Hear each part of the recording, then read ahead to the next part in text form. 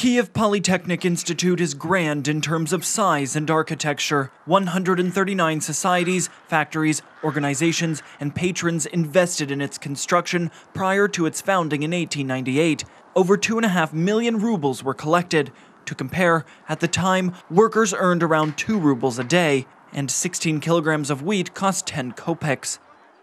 Місце для майбутнього Different locations all over Kiev were considered for the future university site. Eventually, Shuliavka was chosen, but at the end of the 19th century, the territory was outside the city.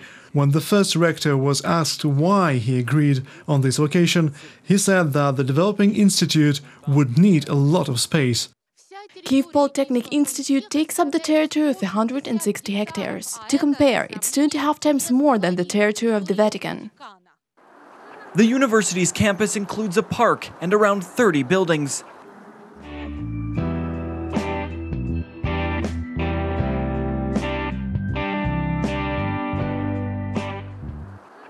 The best architects of the time submitted proposals for the university building design. In the end, the choice fell on the brick style by Jeronim Kitner.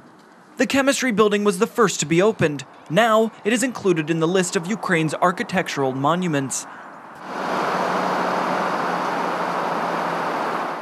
In 1903, the examination committee here was headed by Dmitry Mendeleev, a Russian chemist who formulated the periodic table. During World War I, the building housed a rocket workshop. It is also where the first airplane in the Russian Empire was built. In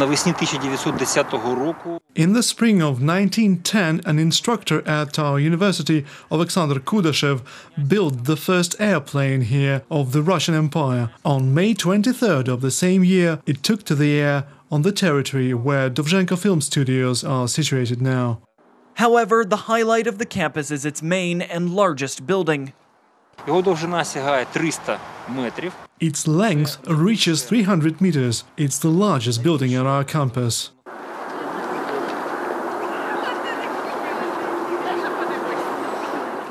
Romanesque Gothic architectural style is furthered by the towers on each side with marquee roofs, Inside, one will find stucco molding in the Romanesque Renaissance style.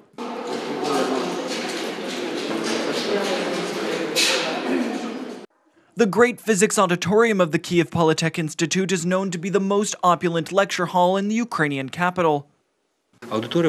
It was designed so that the speaker could be seen and heard from any seat in the room. The acoustics of the room are very favorable. It seats on average around 400 people. The auditorium was designed and built by Kiev architect Vasyl Osmak. He's known for his other famous project in Kiev, the Dynamo football stadium. A plaque on the wall has accurate geographical coordinates of the building. The sculptures of eight famous physicists were originally created by Italian sculptor Emilio Sala, famous for his collaborations with Vladislav Horodetsky, most notably on the house with chimeras. Most recently, the sculptures were restored by Ukrainian Anatoly Valiev.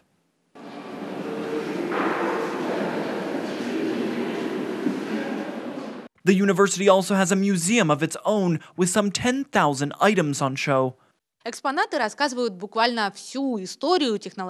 exhibits pretty much tell the whole story of technological progress in Ukraine.